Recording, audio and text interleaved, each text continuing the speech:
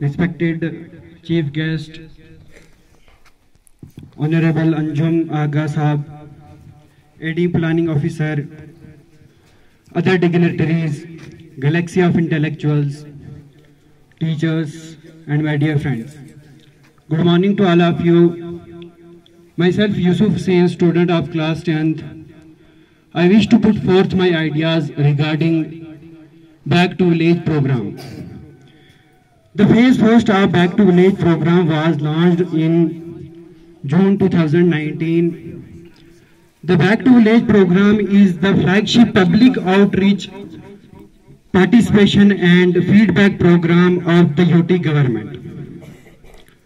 During the program, the Prabhari officers shall visit their respective village and panchayat and interact with the public and undertake review of the previous and current year deliverables.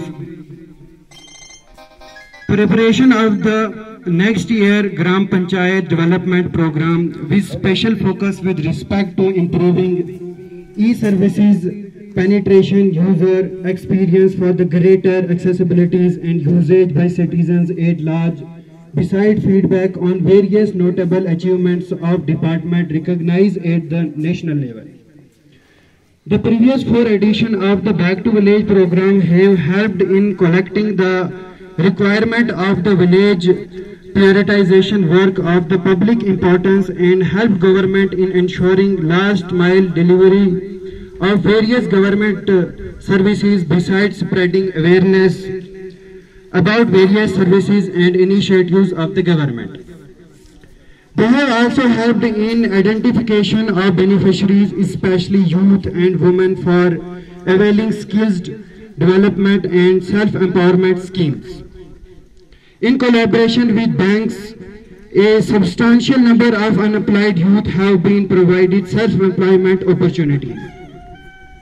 The addition of Back to Village shall among focus on saturation of self-employment schemes, progress on achievement of deliveries, availability of electricity in village along with host of other parameters for which a booklet is being circulated to Prabhari officers. The entire data will be collected digitally and will be analyzed for consequential action at the relevant levels of the government.